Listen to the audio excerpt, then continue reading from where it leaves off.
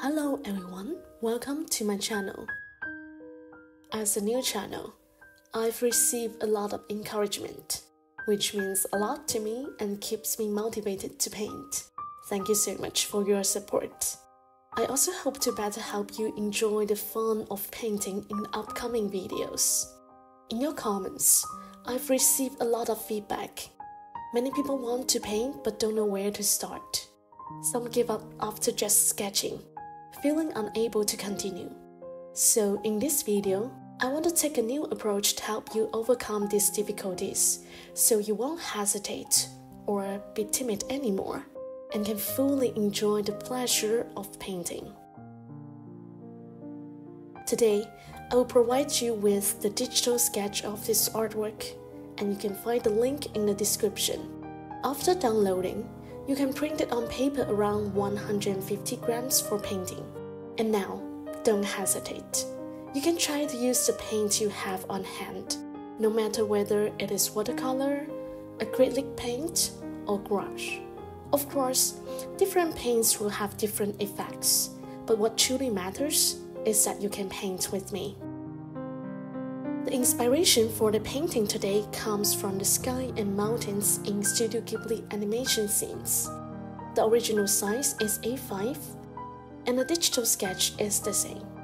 You can also print it larger according to your needs.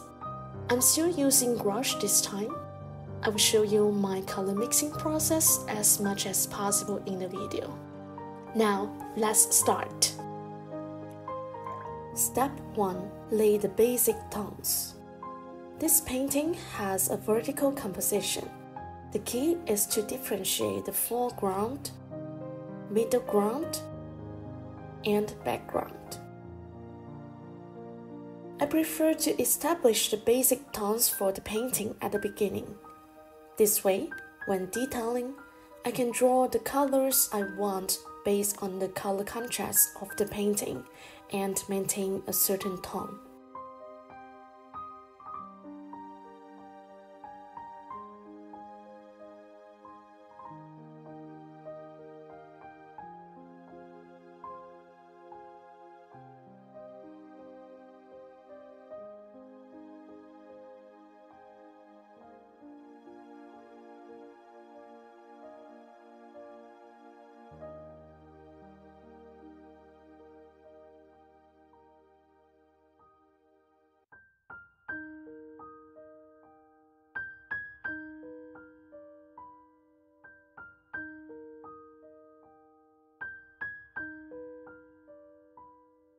Step 2 Detailing Background of the scene.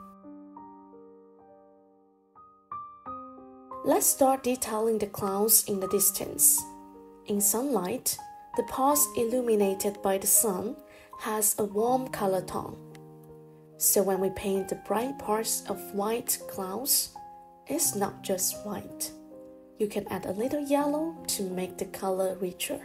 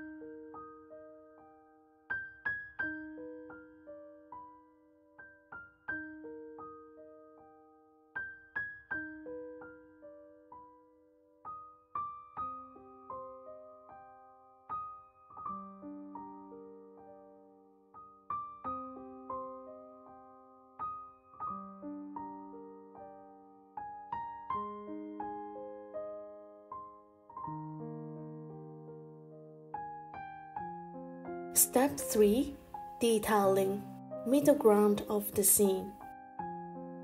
Now let's depict the middle ground of the scene. The farther away the mountains are, the lighter their color. You can get a soft color by comparing it to the color of the clouds. The mountains and plants in the middle ground can be depicted with relatively simple and omitted strokes. This way, they can be distinguished from the detailed depiction in the foreground, creating a sense of space.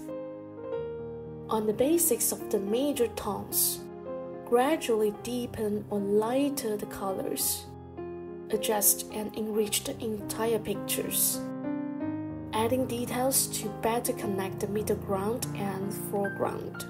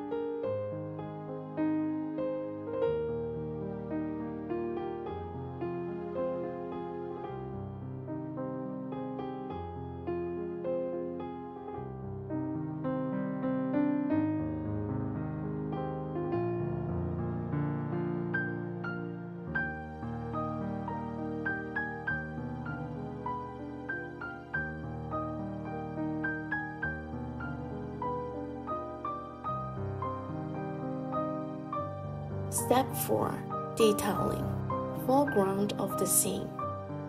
When depicting the foreground plants, I choose to use darker colors to create a contrast with the middle ground. When you want to express spatiality in the picture, you can use different techniques for different parts, such as contrasting simple strokes with detailed depictions and contrasting colors. Many people ask me about drawing plans, but it is quite simple. You just need to distinguish which leaves are in front and which are behind to create a sense of space.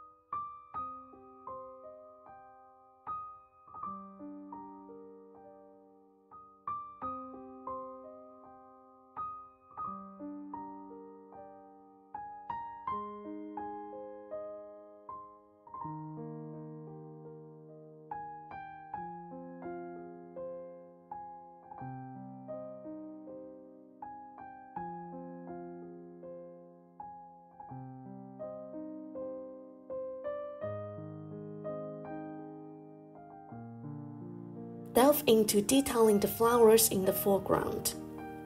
Flowers have inherent colors. By adding bright and dark surfaces, a very detailed flower appears.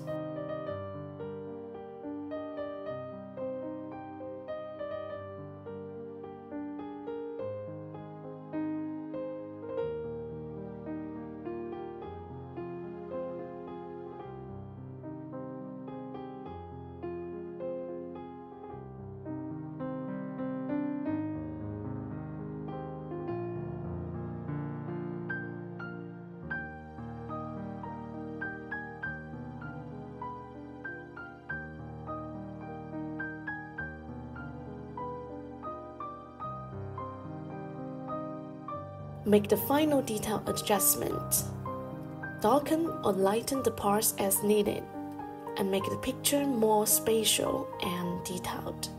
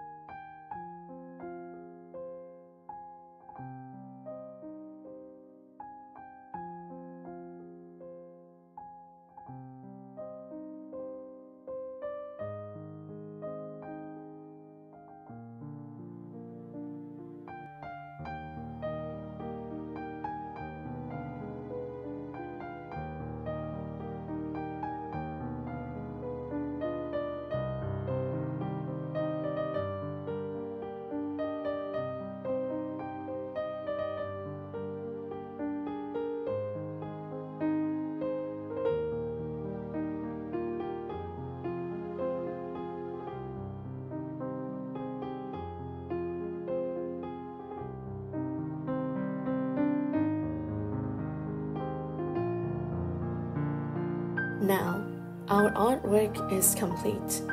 I wonder how yours turned out? You can find a digital copy of the completed work in the link in the description for your reference when painting. You can also use it as wallpaper, but please don't use it for commercial purposes. If you have any questions or suggestions, please leave a comment under my video. If you paint along with the video, you can share the final artwork with me on Instagram. I'm really looking forward to seeing your works.